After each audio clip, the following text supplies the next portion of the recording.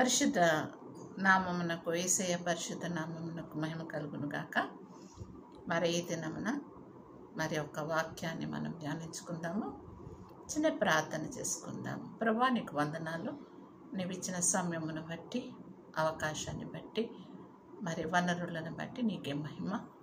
ఈ యొక్క వాక్యము ద్వారా మీరు మహిమనుందండి అనేక హృదయాలను తట్టండి. మాట్లాడండి. బలపరచండి.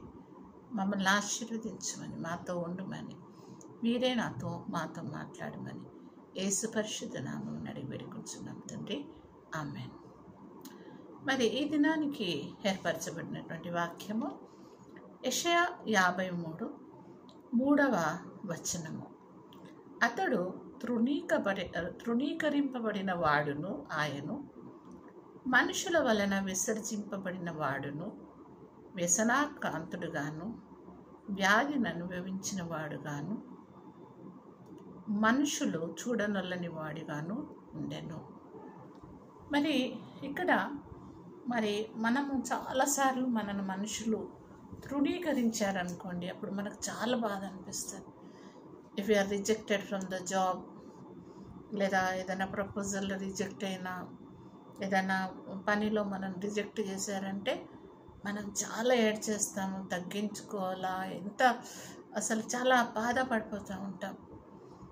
మరి ఎక్కడికి వెళ్ళినా అది వీడొద్దు ఇమొద్దు అని అన్నప్పుడు మనకు చాలా బాధ కలుగుతుంది. కానీ ఈ లోకంలో యేసుక్రీస్తు ఇటువంటి అనుభవాన్ని మన కొరకు ఆయన మరి అనుభవించినట్టు మనం చూస్తున్నాం.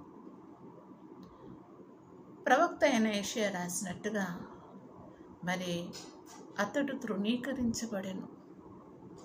యేసుక్రీస్తు మరి తృణీకరించబడ్డాడు. ఈ లోకంలోనికి వచ్చినప్పుడు ఆయనను జన్మనివ్వడానికి స్థలం లేదు. మరి అక్కడ ఎక్కడికి వెళ్ళినా కూడా ఇక్కడ స్థలం లేదు ఇక్కడ స్థలం లేదు అక్కడ పో అక్కడ పో అనేసి తృణీకరించబడ్డాడు. మరి గెరసనేల ప్రాంతానికి వెళ్ళి సేన అనే దయ్యాలు పట్టినటువంటి వ్యక్తిని బాగు చేసినప్పటికీ కూడా యేసుక్రీస్తుని ఆ పందులే మాకు బిజినెస్ కాబట్టి మీరు ప్రాంతంలో నుండి వెళ్ళిపోమనేసి అక్కడ నుండి ఆయనని వెళ్ళిపోమన్నారు.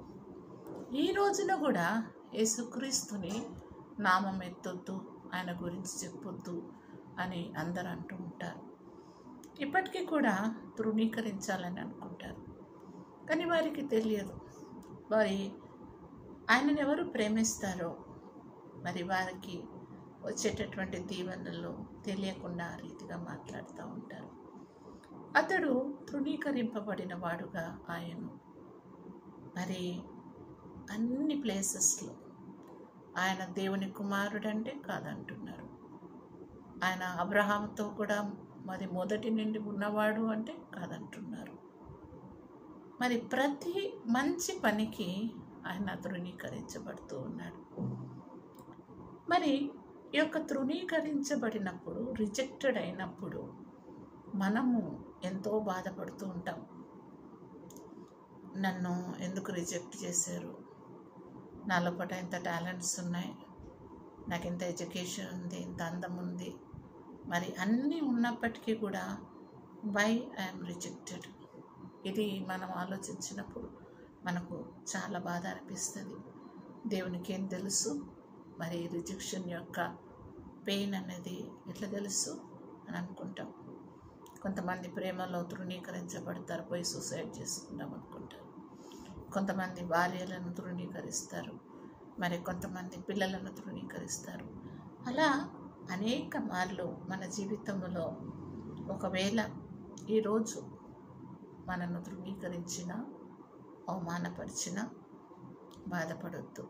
ఎందుకంటే మనకంటే ముందు మన యజమానుడైనటువంటి క్రీస్తు ఈ యొక్క అనుభవము ద్వారా ఆయన వెళ్ళి ఉన్నాడు. మరి ఎవరి ద్వారా ఆయన విసర్జింపబడినాడు? అంటే మనుషుల వలననే ఆయన విసర్జింపబడినాడు. ఏ మనుషులనైతే ఆయన మరి నిర్మించాడో సృజించాడో ఆయన ఊపిరినిచ్చాడో ఆ మనుషులే తన వారే ఆయనను మరి విసర్జించినట్టు మనం చూస్తున్నాం. మరి ఆయన పుట్టినటువంటి స్థలంలో ఆయన వారే ఆయనను నమ్మలేదు. అది ఒక బాధ. విశ్వసించలేదు. మరి ఈ దినమున మరి నీవు కూడా ఈ స్థితిలో ఉంటే నిన్ను తృణీకరించారా? మరి నిన్ను విసర్జిస్తున్నారా? నిన్ను అవమానపరుస్తున్నారా? ఇవన్నీ చూసి వ్యసనం. అబ్బా చాలు ప్రభా ఈ లోకంలో ఈ శ్రమలు చాలు ఈ బాధలు చాలు ఈ నిందలు చాలు ఈ అవమానం చాలు యొక్క వేదన చాలు ప్రభా ఇంకా నాకు అని అలసిపోయి వ్యసనాక్రాంతుడుగా మరి మిగిలిపోయావా? మరి క్రీస్తు కూడా ఈ మాటలు నిందలు యొక్క అవమానాలు లేనిపోని నిందలు కొట్టడము ఒక ప్లేస్ నుండి ఒక ప్లేస్కి ఆయనని చేయని నేరానికి ఆ కోట్ల చుట్టూ తిరగడము పోలీస్ స్టేషన్స్ చుట్టూ తిరగడము మరి ఇవన్నీ చేస్తూ ఉంటే ఆయన విసిగిపోయాడు వ్యసనం వచ్చేస్తుంది. చాలా అలసిపోతున్నాడు. మన వ్యాధిని మనము పొందవలసినటువంటి వాటన్నిటిని కూడా ఆయన అనుభవించాడు. మరి ఈ యొక్క దినము వాక్యంలో మరి యేసుక్రీస్తు మనతో మాట్లాడుచున్నది ఏంటంటే యోహాన్ సువార్తలో చెప్తున్నాడు మీరు నా యొక్క శిష్యులు నేను మిమ్మల్ని ఏర్పరచుకున్నాను. కాబట్టి లోకము మిమ్మల్ని తృణీకరిస్తుంది అవమానిస్తుంది మిమ్మల్ని నిందల పాలు చేస్తుంది. మరి మీరంటే అసహించుకుంటుంది. అయినప్పటికీ భయపడు